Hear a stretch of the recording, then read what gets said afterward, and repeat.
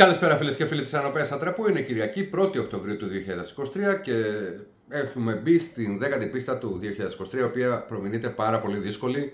Έχουμε καλό μήνα σε όλους, με κουράγιο και με χαρά και ευτυχία. Κάποιοι μου γράφουν στα σχόλια να πεις κάτι ευχάριστο, να πω κάτι ευχάριστο. Ε, και κάποιοι μάλιστα μου είπαν και κάποιες να πω κάτι γλυκό. Μπορώ να σας πω κάτι γλυκό, έτσι να ξεκινήσει η εκπομπή. Γαλακτομπούρεκο. Επίσης μπορώ να σας πω μαρμελάδα, ε, κρουασάν σοκολάτας, ε, ξέρω εγώ τι άλλο θέλετε. Ας πούμε, τώρα επειδή σε λίγες μέρες, λιγότερο από 90 μέρες, ε, μπαίνουμε πλέον και στην περίοδο των το Χριστουγέννων κτλ. Ε, θα πούμε μελομακάρονα, κουραμπιέδες, βασιλόπιτα, δίπλες και τέτοια πράγματα. Εάν περιμένετε πραγματικά να σας πω τα πράγματα με πολύ απλή και γλυκιά, γλυκανάλατη κατάσταση, τότε μάλλον δεν έχετε καταλάβει σε τι καθεστώς και τι ζωή ζούμε. Ε, Α πάρουμε τα πράγματα με την αρχή γιατί δέχτηκα και κάποια χτυπήματα κάτω από τη μέση υποτίθεται από ανθρώπους που θα τους προσκαλούσα σε πνευματική μονομαχία αλλά τους βλέπω ότι είναι άοπλοι και εν πάση περιπτώσει ας ξεκινήσουμε τα πράγματα με την αρχή. Κάποιοι μάλλον το κατάλαβαν και είναι πλέον ε, θεωρείται και η ιεροσιλία την ώρα που παίζει η δικιά μου εκπομπή να γίνονται κάποιες αντιπαραθέσεις όχι η εκπομπή που υπάρχει κάτω του κυρίου Σαχίνη που είναι καταπληκτικό, ε, να γίνονται κάποιες αντιπαραθέσεις και αντιπαραθέσεις, ε, νομίζω αντιθέσεις, αντιπαραθέσεις, πώς λέγεται η εκπομπή του κ. Σαχίνη. Κλάι Παπαράιν, δηλαδή, ο, ο κ. Σαχίνης είναι καταπληκτικός. Και εδώ πέρα μέσα να ξεχνάτε λίγο who is the daddy, έτσι, ποιος είναι ο μπαμπάς σας, έτσι, για να το πούμε πολύ απλά. Άκουσα χθες ότι είμαι υπερφύαλος, ότι είμαι ηλίθιος κτλ. Α είναι. Τουλάχιστον εγώ θα μείνω στην ιστορία ότι αυτά που έχω πει έχω επιβεβαιωθεί και ότι δεν είναι η 7η έκλαμψη του ηλίου κτλ. κτλ, κτλ. Αυτά σε κάποιους που χθες φροντίσαν να μην κάνουν εκπομπή για να μην παραστούν στην δημόσια χλέβη. Και αν θέλετε, το λεξικό ακόμα δεν το έχω βάλει πάνω πάνω και τώρα σε αυτή τη ε, αλλαγή που κάνω εδώ πέρα στους χώρους τα λοιπά. Όταν θα το βάλω θα σας δείξω και ποια σελίδα είναι. Λοιπόν, ο κύριος Αϊφαντής, όχι ο στρατηγός, ο κύριος Αϊφαντής, ή Αλιφαντή Αϊφαντή, δεν τώρα θυμάμαι ακριβώς το όνομα, είναι πρέσβης επιτιμή ε, στο Υπουργείο Εξωτερικών, τον οποίο, ο οποίος ξεσκέπασε κυκλώματα και στην ε, Αλβανία αλλά και σε άλλες περιοχές ε, της, ε, του κόσμου όπου Έλληνες διπλωμάτες βγάζανε βίζες με λεφτά έναντι πολλών δεκάδων χιλιάδων δολαρίων. Και κάποια στιγμή πέρασε στην απέξω, κάποια στιγμή έκανε μια ε, συνέντευξη με τον κύριο Σαχίνη, τον οποίο τον τιμώ και ε, χαίρομαι πάρα πολύ γιατί έχω παρακολουθήσει και του φίλου μου του Μινάτου Τσικριτζή δύο-τρεις συνεντεύξεις που έχει δώσει στον κύριο Σαχίνη, ο οποίος το θεωρώ καταπληκτικό. Δεν είναι του χώρου της ελληνικής αναζήτησης, αλλά άπλεται πολλές φορές και αυτά τα θέματα και τον χαιρετίζω και σας συστήνω να βλέπετε και τις εκπομπές του. Για να μην νομίζετε ότι έχω, είμαι υπερφύαλος ή εγώ ή κανείς. Λοιπόν, βγαίνει ένας πρέσβης επιτιμή, ο οποίος είναι τιμημένος με το μεγαλόσταυρο της ελληνικής δημοκρατίας, με το τάγμα του Φίνικος, ε, ε, είναι, είναι υπουργός Α, που αυτή είναι η βαθμολογία των πρέσβεων κτλ. Και, και λέει δύο πράγματα. Και θέλω να ρωτήσω τα ελληνικά hoax, ένα. Ε, το YouTube 2, που με τσάκισε αυτό το μήνα το YouTube, υποτίθεται μου δίνει άνθρωπο για να μου συμβουλεύει πώς να είμαι καλύτερος, θα παραμείνω όπως έχω, έτσι αυτά. Ναι, όπως είπε κάποιος, λέει ο Μπίχλας, λέει έβαλε, άφησε και γένια. Ναι, ρε, δεν έχω λεφτά για, για ξηραφάκι και αφρό και περιμένω να μου δώσετε λεφτά για να ξεριστώ. Πιο πολύ μου κοστίζει να τριμάρω τα γένια παρά να ξερίζομαι. Εν πάση περιπτώσει. Λοιπόν, ο κύριος ε, αυτός, τον οποίο τον κόβω για πολύ μάγκα. Γύρισε και είπε στον κύριο Σαχίνη, πώς λέγεται αυτό, δεν του λέει πρώτον, αυτός που έφτιαξε την επιχείρηση για τη Λιβύη είναι γνωστός αξιωματικός, τον οποίο θα έπρεπε κανονικά να τον έχουμε κλεισμένο με στη φυλακή. Αυτός έκρινε να μην πάνε τα παλικάρια μας με όπλα και αυτά και αυτά και τα λοιπά. Και εσύ της άλλης, κυρίες και κύριοι, αυτός έκρινε ότι έπρεπε να μπουν όλοι μέσα σε ένα πούλμαν και αυτός έκρινε το ένα και το άλλο. Εμένα τα ελληνικά hoax, εμένα τα ελληνικά hoax, μου ε, χαρακτηρίσανε τις, ε, τα βίντεο, τις αναρτήσεις στο facebook που έκανε για το βίντεο που έκανε για τη Λιβύη ότι είναι λέει fake news και τέτοια πράγματα. Από τη στιγμή που έγινε αυτό το πράγμα και αντί να ζητήσουν συγγνώμη, για τουλάχιστον το YouTube, όταν κάνει μια βλακιά μου λέει σου ζητούμε συγγνώμη. Είχα 11 βίντεο μαρκαρισμένα χωρίς διαφημίσεις, τα τσέκαραν, ε, έκανα appeal δηλαδή review και μου ζητήσαν συγγνώμη. Βέβαια πέρασε το κύμα υποτίθεται των διαφημίσεων και δεν πήρα 5 ευρώ, πήρα 1 ευρώ. Τέτοια πράγματα. Για να μην νομίζετε, γιατί ακούγονται κάτι για δεκάδες χιλιάδες ευρώ, θα είχα πάρει τον Ολυμπιακό τότε. Άμα ήταν δεκάδες χιλιάδες ευρώ σε κάθε εκπομπή.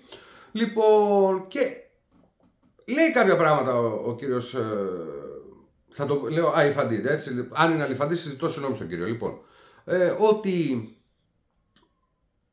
αυτό που έγινε ήταν ένα μακελιό. Ότι αυτό το αφήγημα ότι είναι μια οικογένεια Σύριων δεν είναι, είναι μια ΜΚΟ μέσα στο αμάξι που τράκαρε, γι' αυτό είχε και βενζίνη για να δώσει και σε άλλα αυτοκίνητα. Εγώ ξέρω ότι είναι πέντε, πέντε Λίβοι, ούτε καν Σύριοι, πέντε Λίβοι. Ποια είναι η οικογένεια αυτή, τι είναι ο μπαμπάς Α, μπαμπάς Β, ο Κασελάκης και ο Ράφτης, ο Τέιλορ. Λοιπόν, και εν πάση περιπτώσει έσκασαν πάνω στο λεωφορείο πλαγιομετωπικά. Τις τρύπες ακόμα προσπαθούν να μου τις εξηγήσουν από το Helen Hoax, αλλά θα το αφήσω. Να πω πολύ απλά και μέχρι εδώ μου επιτρέπουν οι θεοί να πω και θα το κάνω το ερώτημα το μεγάλο. Ανάμεσα στα στελέχη, τα στρατιωτικά στελέχη που κατέβηκαν κάτω στη Λιβύη υπήρχαν με την κάλυψη άλλης ειδικότητας ένοπλα στελέχη της Εθνικής Υπηρεσίας Πληροφοριών. Κοινός. Ο ένας είναι κομμάντο.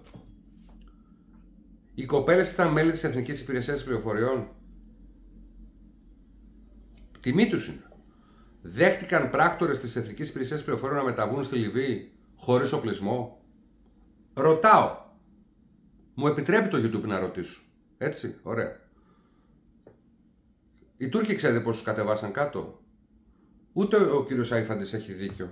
Τέσσερα Airbus με 250 άτομα ο καθένας το καθένα. Κατεβάσαν χίλια άτομα, εκ των οποίων 800 είναι στρατιώτες. Με οπλισμό.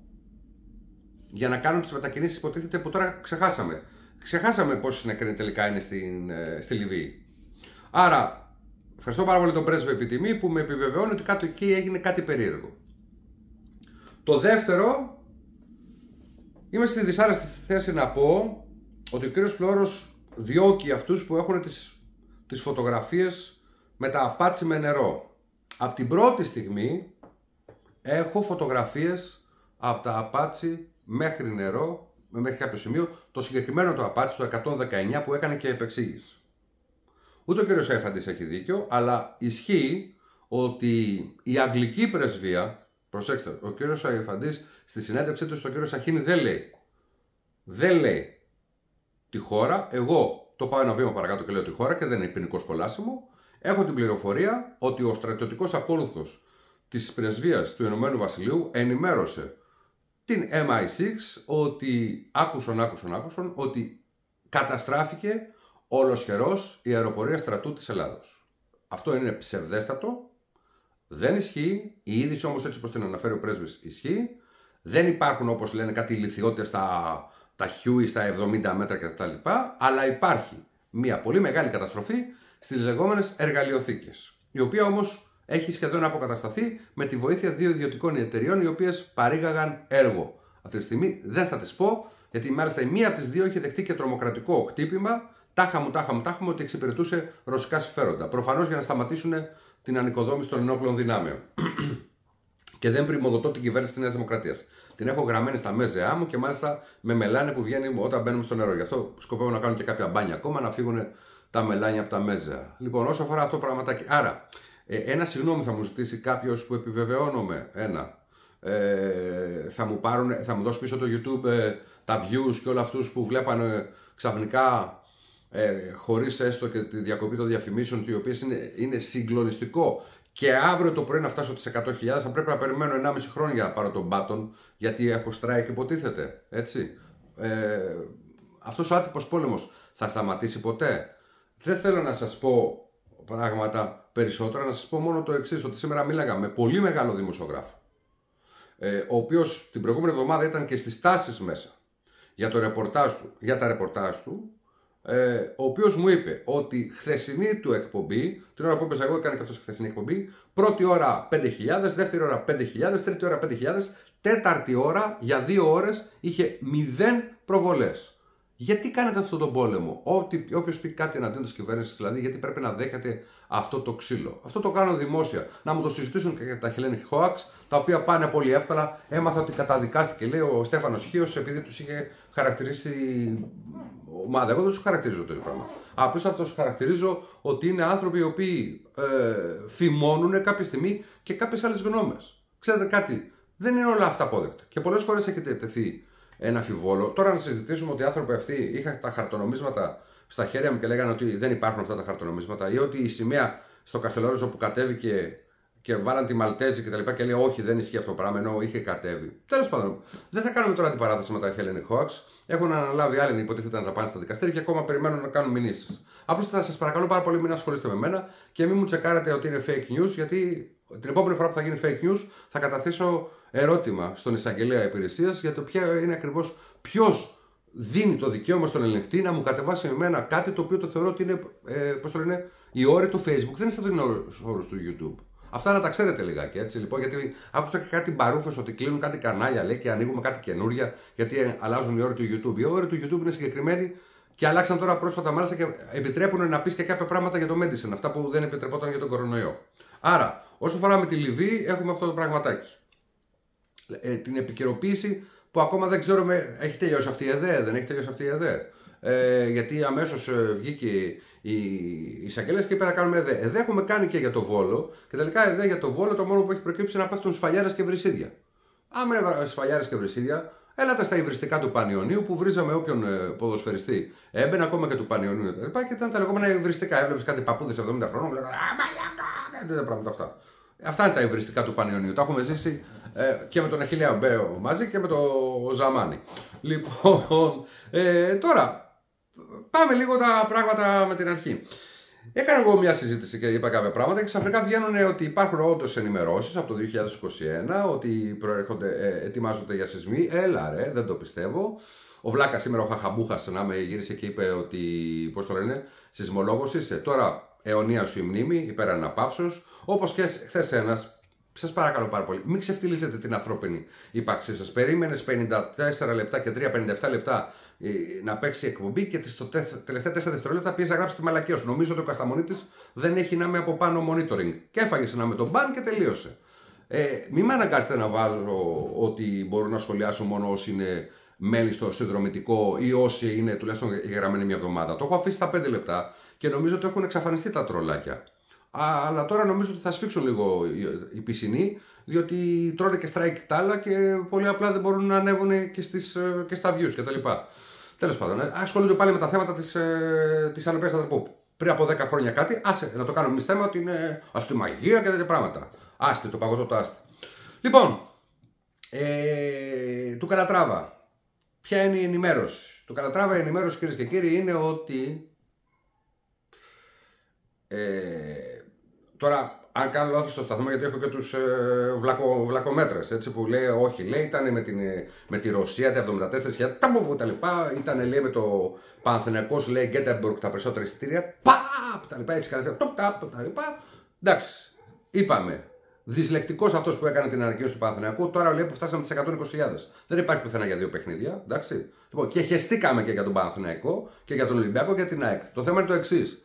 Έστω ερχόταν μια συναυλία, ο Ακύρο Κουροσάβα, ξέρω εγώ, και τραγουδούσε η Μαρία Κάλλας. Λέω ένα παράδειγμα. Και ήταν μέσα 100.000 άτομα. Και έφευγε. Το σκέπαστρο Καλατράβα. Ξέρετε, θα, θα θρυνούσαμε καμία δεκάρα χιλιάδες νεκρούς. Στο λιγότερο. Και εγώ θα σας πω μετά τις εθνικές ε, τραγωδίες. Ε, τώρα, σπεύσαν κάποιοι να βγάλουν κάποια νούμερα. Εγώ είπα χθες για το 1 δισεκατομμύριο. Τελικά, κύριοι, στα νούμερά μου θα φτάσετε πάλι. Και δεν θα το πιστέψετε. Μόνο για τις εγκαταστάσεις του ΟΑΚΑ, αρχικός προπολογισμό ήταν 370 εκατομμύρια. Δηλαδή καλατράβας, μαλακές κτλ. Ό,τι έχει ασχοληθεί ο Καλατράβα. Λοιπόν, αλλά είναι και τα άλλα που είναι το, εδώ το Christmas Theater, ε, το, αυτά που πάρει εκεί πέρα στο Survivor και το απέναντι το κτίριο που η Κάρα Ρουγκέρι κάνει τη μυθολογία και τέτοια πράγματα αυτά. Και κάτι baseball, κάτι badminton, κάτι flabby κάτι chibi όλα αυτά, οτιδήποτε καλατράβα. Η υπόθεση είναι 790 εκατομμύρια συνολικά, 24 δισεκατομμύρια κόστησε η Ολυμπιάδα, έτσι, λοιπόν, εκ των οποίων οι τιμές είναι του 2004. Άμα κάνετε μια αναγωγή 2004-2024, οι τιμές υπερβαίνουν και το 1 δισεκατομμύριο. Άρα έχουμε φάει 1 δισεκατομμύριο το καλατράβα. Συνήθως μια καλή αρχιτεκτονική αμοιβή είναι 20%. Ο, το γραφείο του κ. Καλατράβα πήρε 200 εκατομμύρια. Μια κυρία που πήγε στην Ισπανία και το πέταξε χθες λέει τα, πώς το λένε, τα τα κτίρια λέει, των Ισπανών από την Ολυμπιάδα της Βαρκελόνης λέει είναι ακόμα σε χρήση λέει, και τα έχει φτιάξει ο Καλατράβα. Παπαπ, επίσης τα λοιπά. Το θέμα είναι το εξής. ένα φοβερό και τρομερό, ότι η στέγη Καλατράβα δεν είχε άδεια οικοδομήσεως. Το είπα στον πατέρα μου σήμερα το πρωί και μου λέει: Παιδί μου, λέει, και τι, τι σχέδια καταθέσανε. Δηλαδή, αν ερχόταν ένας έλεγχος και έλεγε: Για δείξε μου τα σχέδια να δω τι γίνεται, τι θα έβλεπε ακριβώς; Θα έβλεπε selfie του Καλατράβα.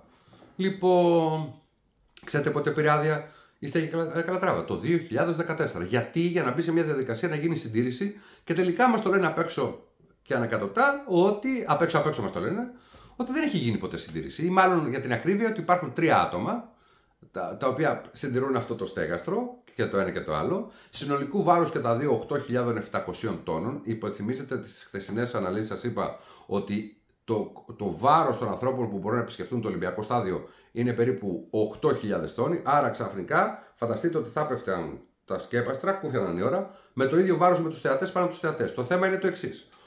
8.700 τόνοι από το ύψος που είναι, όταν θα πέσει το έδαφος, γίνονται 87.000 τόνοι ή σε κάποιες περιπτώσεις 120.000 τόνοι. Πώς προκύπτει αυτό, Ο κ. Γαλακτόπουλος είπε ότι το έδωσε στην αρμόδια μηχανική εταιρεία το κομμάτι που έφυγε τα 80 κιλά τσιμέντο, όχι από το στέγαστρο, από το στάδιο, και το οποίο το, το συγκολήσαν πάλι με βίδες και είπε ότι από το ύψος που έπεφτε, τα 80 κιλά γίνονταν 1,5 τόνος. Άρα είναι περίπου ε, 17 φορές. 7, 856, 800, όχι, ψέματα.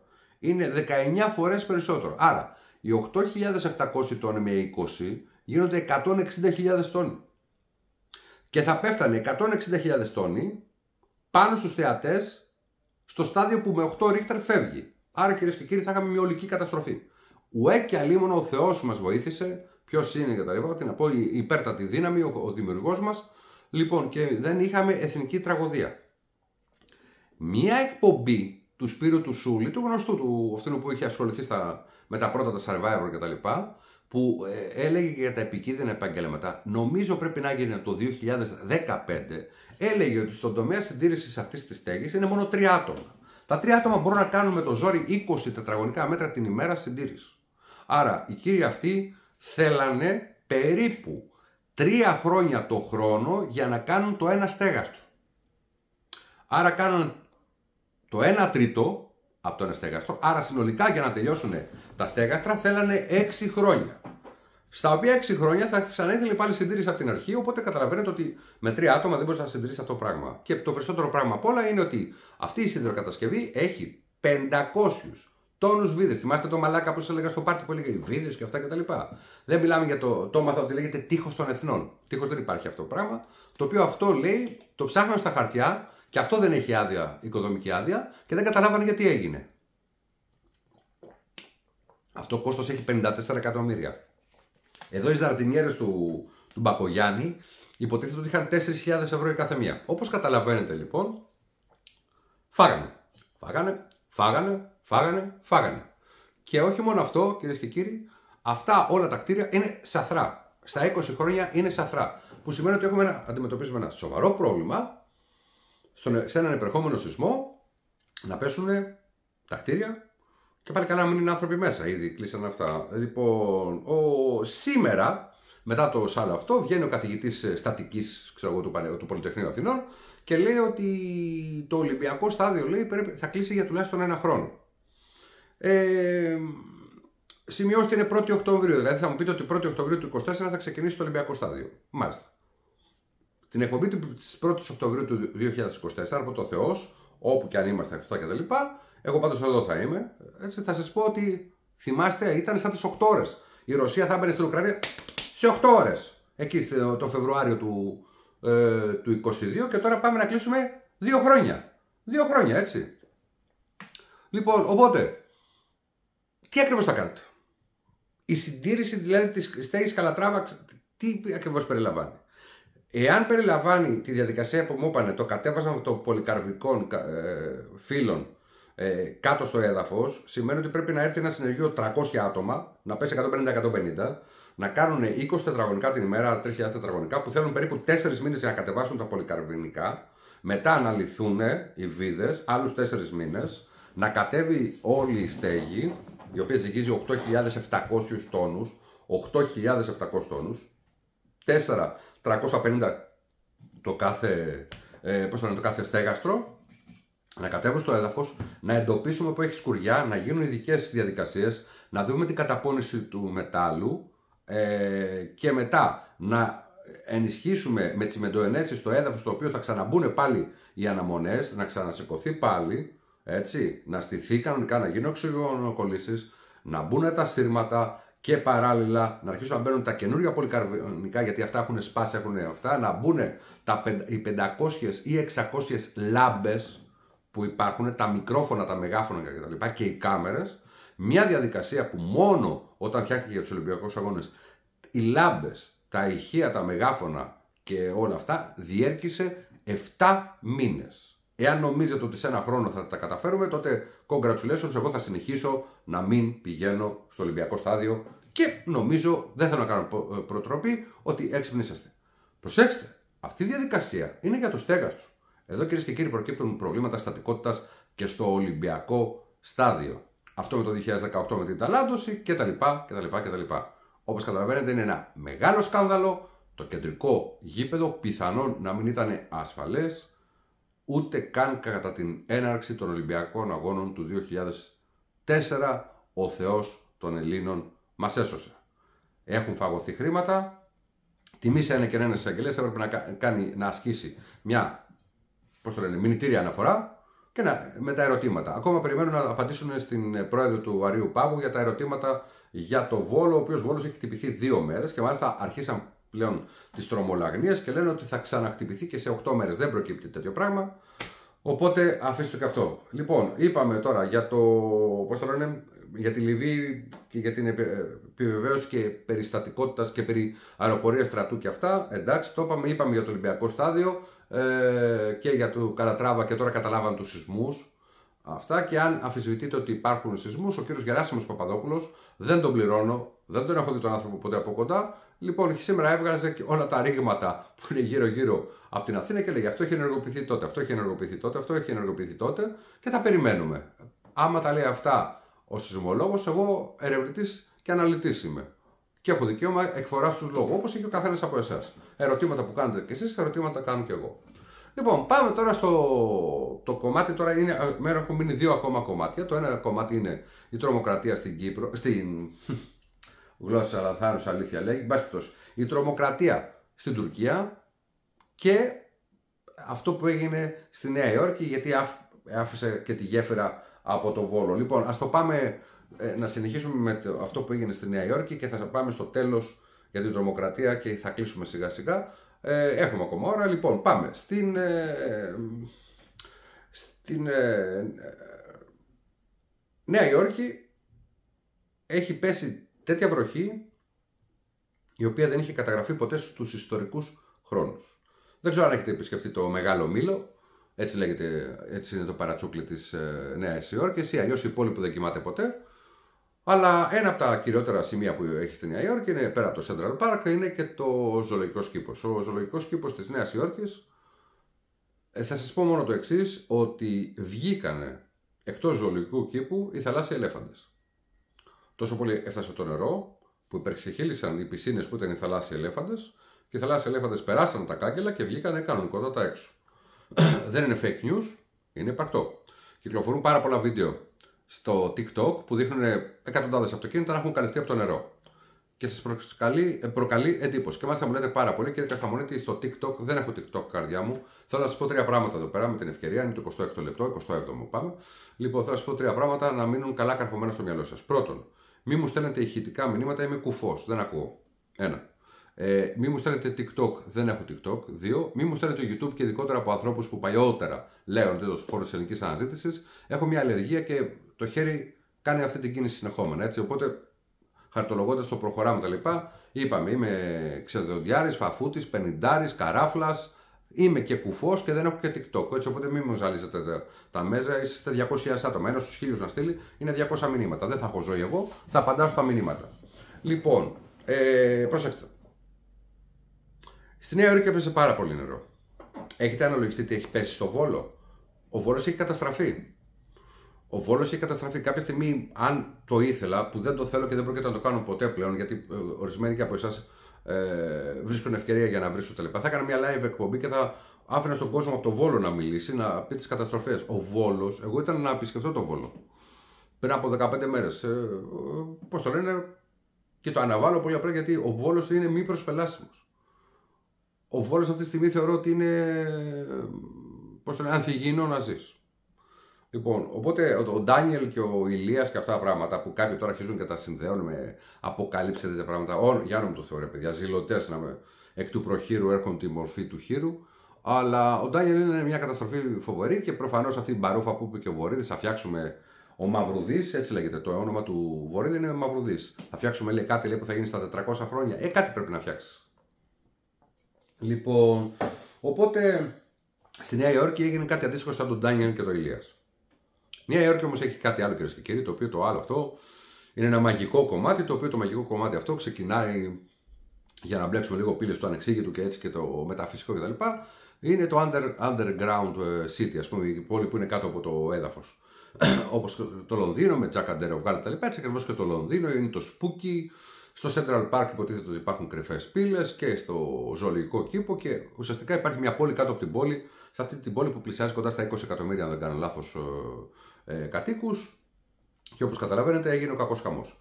Υπολογίζεται ότι στους δρόμους της Νέας Υόρκης υπάρχουν περίπου 77.000 στρογγυλαία καπάκια υπονόμων, τα οποία αυτά, φανταστείτε πόσο νερό μπήκε από κάτω, που κάποια από αυτά εκτινάχτηκαν ή κάποια από αυτά αναγκάστηκαν να τα ανοίξουν μελωστούς γιατί είχαν σφινώσει για να φύγει το νερό κάτω και να βγει στους υπονόμους κτλ. Το Μαχάταν, που είναι το νησί μέσα στη Νέα Υόρκη ουσιαστικά ήταν απροσπέλαστο. Έχω φίλους και στην Αστόρια και στο Μαχάταν και στη Νέα Υόρκη και στη Fifth Avenue και αυτά τα λοιπά. Και μου είπαν ότι ε, μια γνωστή οικογένεια Ελλήνων, δεν χρειάζεται να πω το όνομα, η οποία έχει ένα τετραόροφο. Ε, τα νερά φτάσαμε μέχρι και το δεύτερο όροφο. Ε, τα υπνοδωμάτια σου ήταν στο τρίτο και στο τέταρτο και την σκαπουλάραν. Ιδέα. Αλλιώ όμως λέει οι καταστροφές είναι απίστευτες. Ναι, το ίδιο έγινε και στην Κωνσταντινούπολη, το ίδιο έγινε και στις Φιλιππίνες, το ίδιο έγινε και στην ε, Τουρκία, πέρα από την Κωνσταντινούπολη και στη Σμύρνη. Πριν από λίγα λεπτά, πρωτού ξεκινήσει η εκπομπή, έγινε ένας σεισμός 4 ρίχτερ στη Σμύρνη, ο οποίος επηρέασε και τη Χίο και τη Μυτιλίνη. Πριν από 24 ώρες έγινε 4,1 στην Κάλυμνο. Ε, τα ηφαίστεια, γενικώς όλα τα ηφαίστεια γύρω-γύρω ε, σε αυτό το δαχτυλίδι φωτιάς έχουν ενεργοποιηθεί. Η Έτνα ακόμα ε, κοκλάζει, σεισμός έγινε στη Σαντορίνη. Ε, υπάρχει μια γεωδιέργεια η οποία παράλληλα υπάρχει και μια καταστροφική ε, καταιγίδα. Θυμάστε παλιότερα πριν από καιρό που λέγαμε το τράμπι με την καταιγίδα. Τώρα έχει σκάσει μια καταιγίδα η οποία είναι μια χαρποκαταιγίδα. Συν της άλλης, επειδή φταίμε κι εμείς τελικά, βγαίνουν διάφορα βιντεάκια, τα είδα. Α πούμε, το ένα βγήκε από το δάσος Χαϊδαρίου το οποίο υποτίθεται ότι υπάρχει κάτι το οποίο κάνει κύκλους κτλ. Εκεί στο δάσος Χαϊδαρίου κοντά υπάρχει ο Φίνικας, ο οποίος τώρα έχει μετατραπεί σε κινέζικο. Στην είσοδο υπάρχει ένας φωτεινός προβολέας, ο οποίος χτύπαγε τα σύννεφα και αυτό είναι γιατί κάποιοι το σηκώσανε σαν short για να πάρουν views κτλ. Και, και να λέει μετά τον πέρασα τον Κασταμονίτη. Α πούμε, έχω τέσσερα short, ένα σκυλί που καυγίζει, ένα αυτά κτλ. Το άλλο που έχει προκύψει στην ευρύτερη πόλη του Βόλου που είναι σαν να περνάει ας πούμε ο, ε, οι απέθαντοι από το Lord of the Rings που επιτίθονται στη Μόρια και στη Μίνα Στήριθ και τάχα είναι ένας δράκος από πάνω τα λοιπά, είναι παιχνιδάκια ε, πώς το λένε, του μυαλού και α, πολύ καλά, εντάξει, τι να κάνουμε, οι μπαρούφες ε, καμιά φορά επιπλέον σαν τους κουτσούλους, τους πιπεράτους που λέμε και εμείς στην Κέρκυρα. Ε, τώρα, στη Νέα Υόρκη. Στη Νέα Υόρκη όμως υπάρχει κάτι άλλο κυρίες και κύριοι. Η Νέα Υόρκη υποτίθεται ότι είναι ε, the land of opportunity, η χώρα και η γη των ευκαιριών και υποτίθεται ότι δισεκατομμύρια έχουν, δει για το, έχουν πέσει για το αποχητευτικό σύστημα της Νέας Υόρκης. Όχι του Βυζαντίου, αυτό είναι του Κατακουζινού. Ορίστε. Έγινε αυτή η βροχή και τα νερά δεν φύγουν καθόλου. Ε, θα πω κάτι. Το οποίο, επειδή έχω και εγώ τις πληροφορίες μου, και επειδή τα πράγματα σας τα έλεγα από την αρχή από το αλμανάκ του 2023 το Δεκέμβριο ότι περιμένω πολύ κακό χειμώνα ε, για το 2023-2024 θα πω πολύ απλά το εξής, ότι φοβάμαι ότι αυτά που έλεγε ο καθηγητής περί υπερχιλήσεω των νερών και, και, και τα λοιπά, με τρομακτικό. Και μάλιστα ο φίλος μου από τη Ζούγκλα, ο Χρήστος Μαζάνη, έχει κάνει και πολύ ωραία συνεντεύξει από τον κύριο αυτό, ε, δύο συνεντεύξεις, τις οποίες τις έχω σηκώσει ερευνητής και αρθογράφο. Ε, θα πω πολύ απλά ότι φοβάμαι για την πόλη των Αθηνών. Θα το πω πολύ απλά. Τρέμω για τους γονείς μου. Οι γονείς μου μένουν Νέα Σμύρνη ε, και είναι πολύ κοντά στα σημεία αυτά που, που λένε ότι θα πλημμυρίσουν.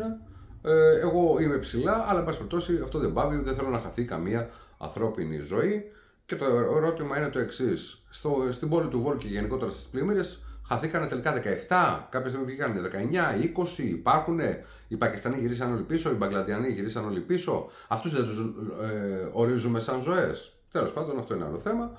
Στην πόλη των Αθηνών υπολογίζεται ότι αν γίνει αυτό το πράγμα μπορεί να χαθούν χιλιάδες άτομα, όπως λέει ο, ο ίδιος καθηγητής, λέει για ένα εκατομμύριο ανθρώπους κάτω από το νερό. Στην πόλη της Νέας Υόρκης, ξέρετε πόσους επισήμου νεκρούς υπήρχαν, Δύο. Οι οποίοι πνίγηκαν με ήταν άστιγοι. Η πόλη της Νέας Υόρκης έχει 45 με 50.000 άστεγους. Μήπως τελικά μας φουμαριάζουν και λίγο. Δηλαδή, πότε πρόλαβαν αυτοί οι 50.000 άστεγοι να κρυφτούν κάπου με αυτή τη βροχή η οποία κάλυψε χιλιάδες αυτοκίνητα; Και νομίζω ότι κάποια πράγματα και κάποιες παγκόσμιες υπεκυβερνήσει, όπως σας είπα και στη συνδρομητική, αύριο θα έχουμε συνδρομητική, έτσι. Πέρα από το οικονομικό την εκπομπή θα έχουμε συνδρομητική, είναι αυτά τα πράγματα που φουσκώνουν πάρα πολύ στο μυαλό των ανθρώπων και πιστεύουν οποιαδήποτε μπαρούφα. Ε, νομίζω ότι πρέπει να προετοιμαστούμε και να είμαστε σε υπερδιέργεση, όχι σε διέργεση, σε υπερδιέργεση για φυσικές καταστροφές που πέρα από τις πλημμύρες εντάσσονται μέσα και σεισμοί. Εγώ το βαρόσο τον έχω σαν Θεό και νομίζω ότι ο άνθρωπος τα έχει πει και λέει I hate I told you so, but I told you so. Και τον πιστεύω απόλυτα. Λοιπόν, αυτά όσο αφορά για την ε, Υόρκη και πάμε στο τελευταίο το κομμάτι το οποίο εμένα με τρομάζει πάρα πολύ. Έστω και αν μοιάζει να είναι fake, έστω και αν μοιάζει να είναι κατασκευασμένο από τον Ερντογάν, έστω και αν μοιάζει να είναι μια κίνηση την οποία θα κάνει, ε, έκανε η Τουρκία για να αποφύγει ένα σκόπουλο, θα σα το πω ε, σε λίγο. Λοιπόν, επειδή κάποιοι αφισβητούν ότι μπορεί να τσεκαριστούν κάποια πράγματα και να μπλοκαριστούν κάποια πράγματα και η κυβέρνηση να έχει ειδικό τμήμα κυβερνοασφάλειας. Οπότε είναι ένα site λέει κάτι φάει ένα strike κτλ. Εμένα μου έχει ρίξει κανάλι, μου είχε ρίξει κανάλι και ο ΣΥΡΙΖΑ, μου είχε ρίξει κανάλι και η Νέα Δημοκρατία. Ευχαριστώ πάρα πολύ. Κύριε Κασελάκη, αν ανεβείτε ποτέ στην κυβέρνηση, ε, να θυμηθείτε ότι ο Αλέξης, να με φαντάσου ότι ο Αλέξης ήταν και γνωστός μου, έτσι. Και είναι και γνωστός μου κτλ. Μου είχε ρίξει ένα κανάλι. Λοιπόν, θα πω τώρα το εξής. Μην αγχώνεστε, δεν έχω φάει εγκαίνα ροκούκια. Είναι η καρέκλα. Εγώ έχω μια μηχανή και παίζω και ακουμπάει πίσω στη σειρώμενη πόρτα. Λοιπόν, τι ήθελα να πω. Ε, στη Τουρκία, Viper, Telegram, WhatsApp, Facebook, Instagram, YouTube και όλα αυτά τα λοιπά είναι πάνω ένα κουμπάκι πάνω η τουρκική MIT κάνει μία έτσι και το κλείνει.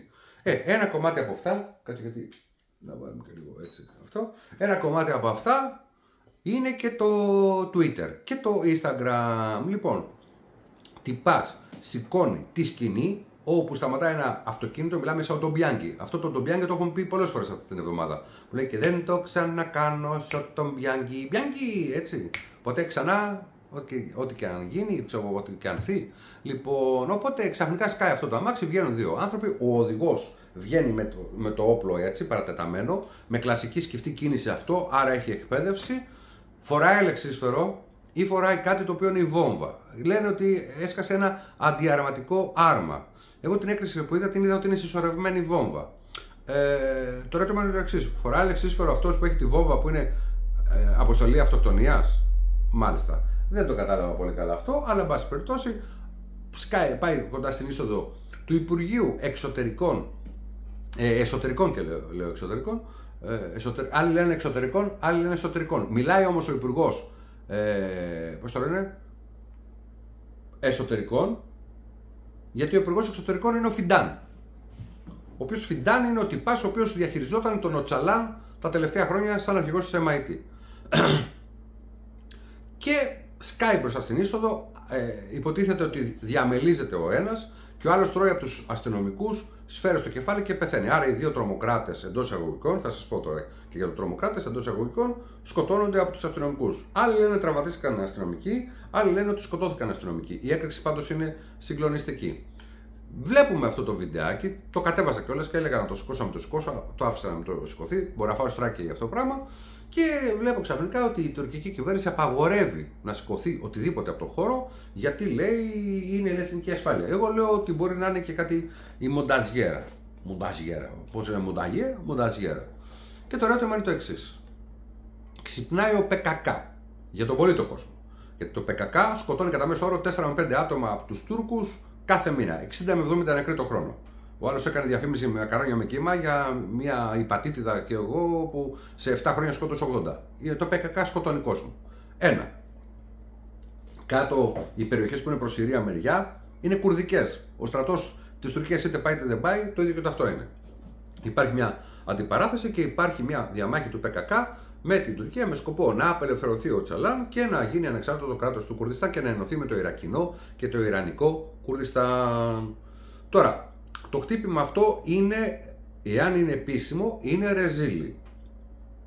Γενικώς οι κυβερνήσεις έχουν τέτοια χτυπήματα ρεζίλια, τα οποία τα χτυπήματα τα ρεζίλια, παραδείγματος χάρη, είναι ως εξής. Στη Ρωσία έσκασε ένα ντρόν πάνω από το Κρεμλίνο. Στην Τουρκία έσκασε έξω από ένα Υπουργείο με τους τρομοκράτες. Ούτε καν τα τυπικά φυλάκια δεν είχαν. Στην Ελλάδα υποτίθεται πάθαμε τα ατυχήματα στο Στεφανοδίκαιο με το Βίκαιο με το ελικόπτερα και ούτω καθεξής. Γενικώς κάθε χώρα έχει ένα ξεφτυλation, έτσι, ξεφτάελας Λεωνάιντα. Τώρα στη, στο Λευκό Οίκο συνήθως βαράνε πυροβολισμούς απ' έξω. Στο Buckingham Palace παλιότερα η Ελισάβετ είχε ξυπνήσει και είχε βρει μέσα στο δωμάτιό της σαν να την πάνε να την κοιτάει 25 χρονών. Που ήταν φανατικός και ήθελε να τη δει από κοντά. Και τα λοιπά και τα λοιπά. Το ερώτημα είναι το εξής. Αυτή τη στιγμή είναι σε μια κρίσιμη κατάσταση. Τη... Χθες ή σήμερα, νομίζω σήμερα, ήταν η έναρξη το, του Κοινοβουλίου της ε, Τουρκίας, εκεί που αυτό που θα αποφασίσει ότι η Σουηδία μπορεί να μπει στο ΝΑΤΟ και παράλληλα πετάει ο Ερντογάν και λέει 40 χρόνια περιμένουμε την Ευρωπαϊκή Ένωση. Λέει, κάναμε ό,τι μας ζήτησε και τελικά δεν μας δέχτηκε και τελικά δεν τη θέλουμε. Ούτε εμείς θα θέλουμε. Και γενικώς δεν σε θέλει η Γερμανία, γιατί ξαφνικά 4-5 εκατομμύρια πόσοι είναι και άλλη Γαλλία, άλλα 3-4 θα γίνουν ε, ε, υπήκοοι της Ευρωπαϊκής Ένωσης και δεν θα μπορεί να τους διώξει κανένας από αυτή τη χώρα. Το ίδιο ισχύει και σε άλλες χώρες. Αλλά είναι μια πολύ ωραία συγκυρία. Ο Μενέντες εκτός, ο, ο καινούριος στη θέση του λέει θα το εξετάσουμε, αλλά δεν είμαστε ακόμα 100% εντάξει. Ξαφνικά προκύπτει ένα τρομοκρατικό. Ο Ερντογάν γυρνά και λέει: Εμένα μου χτυπώνουν οι τρομοκράτε και θα μου δώσει τα F-16 να υπερασπιστώ τη χώρα μου. Δεν δέχομαι εγώ μετά τη Συρία και τέτοια πράγματα και θα σας σπρώξω στην Ελλάδα με πλευρά και εμείς πάλι θα καθόμαστε στον Εύρο με τα τρακτέρ να σταματήσουμε αυτούς που στέλνει ο Ερντογάν που θα πάρει λεφτά. Έχουμε αυτή τη στιγμή τους χειρότερους πολιτικούς να ασχοληθούν και να μιλήσουν με τον Ερντογάν και τα αλάνια του. Δηλαδή το Κεϊρίδη, Καϊρίδη, πώς λέγεται αυτό κτλ. Που είχε πει ότι ο Μέγας Αλέξανδρος ε, είναι σαν αξία, σαν τα σκου, σκουπιδενικία με τα σκουπίδια και ούτω καθεξής. Το γεγονός ότι υπάρχει επίσημη υποτίθεται ανάληψη από το ΠΚΚ ότι χτυπήσανε ε, την Τουρκία, αυτό βγάζει λίγο από το πινακίδιο το κομμάτι ότι μπορεί ο Ερντογάν να το στήσει όπως έστησε το πραξικόπημα το 2016. Αλλά, αλλά, αλλά, αλλά, κανένας δεν λέει όμως ότι μπορεί να είναι και μια συμφωνία του ΠΚΚ με τον Ερντογάν, τόσο ώστε να πούμε ότι υπάρχει τρομοκρατία ε, και παράλληλα μετά η Τουρκία να πατήσει αυτό και να πάρει πιο γρήγορα τα F-16 και πιθανόν να επαναενταχθεί στο F-35 σε βάθος 5-6 ετών.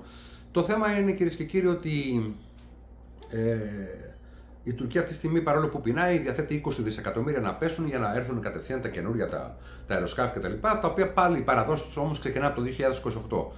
Η πινακίδα και το κομμάτι αυτό είναι 5 χρόνια. Επειδή είδα και κάποια defense ε, ε, sites, ας πούμε τα λοιπά. Ε, Γενικώς με το defense υπάρχουν 7-8 sites τα οποία ήταν πολύ ητοπαθικά. Έτσι. Η ητοπάθεια είναι κακό πράγμα, να το προσέχετε λιγάκι.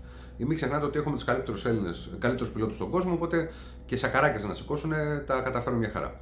Το θέμα είναι το εξής. Ότι υπάρχουν δύο μέτρα, δύο σταθμά. Δηλαδή, παραδείγματος χάρη τους Ουκρανούς τους θεωρούμε επαναστάτες, όμως εάν έκανε μια καινούρια ΕΟΚΑ γάμα, παραδείγματος χάρη Κύπρος, για να διώξει τους Τουρκοκύπριους από τα κατεχόμενα, αυτά που τα απεκόνησε ως κρατήδιο ο, πώς το λένε, ο Κασελάκης, τότε θα θεωρείται ότι ήταν τρομοκράτης. Και αυτή τη στιγμή το ΠΚΚ που θέλει να απελευθερώσει τα δικά του εδάφη θεωρείται τρομοκράτης. Αλλά οι Ουκρανοί δεν θεωρούνται τρομοκράτες όταν κάνουν επίθεση σε κάποιες ρωσικές περιοχές στην Κρυμαία και τις είχαν απορωσικοποιήσει. Και εν πάση περιπτώσει να πω και κάτι άλλο εδώ πέρα μέσα. Όλα αυτά γίνονται τη στιγμή, τη στιγμή που οι Αζέροι κάνουν εθνοκάθαρση στον Αγκόρνο Καραμπάχ. Δεν σας τα λέει κανένας. Οι Αζέροι κάνουν εθνοκάθαρση. Δεν είναι τρελή να φεύγουν οι 120.000 Αρμένοι. Έχουν φύγει ήδη 75.000. Κάνουν εθνοκάθαρση. Σε, με κατεβασμένα τα όπλα υπάρχουν 300 Αρμένοι νεκροί. Αναγκάστηκαν να διαλύσουν τη χώρα για να μην τους κλαδέψουν όλους. Και οι Αζέροι τριγυρίζουν τον κόσμο με τα δισεκατομμύρια τους, πήγαν να πάρουν και το φυσικό αέριο εδώ πέρα μέσα και δεν θεωρούνται τρομοκράτες. Οι Αρμένοι τους γύρισε πλάτη και η Δύση και η Ανατολή και η Ρωσία και η Δύση. Η μόνη χώρα που υποστηρίζει τους Αρμένιους είμαστε εμείς, οι Έλληνες. Και οι Γάλλοι. Έτσι. Αυτοί. Και, και πάλι τώρα η Γαλλία δεν μπορεί να εμπλακεί και σε δεύτερο πόλεμο. Όταν ο ίδιος ο ΙΕ και η ίδια η Ρωσία που υποτίθεται θα προστάτευε την Αρμενία, έτσι τη γύρισε την πλάτη. Και όλα αυτά γίνονται για παιχνίδι γιατί; Γιατί θέλουν να ασχοληθούν με την Ουκρανία, με τη Ρωσία, να τελειώσει αυτό το κομμάτι και δεν θέλουν να ασχολούνται καθόλου με τον Ερντογάν. Είναι ευλογία για αυτούς ότι βγήκε ο Ερντογάν, ο οποίος ξέρουν ότι η ατζέντα του είναι να πάρει τα αεροπλάνα. Κάποια στιγμή μετά από 3-4 χρόνια θα εγκριθούν αυτά τα αεροπλάνα, μπορεί και πιο σύντομα κτλ.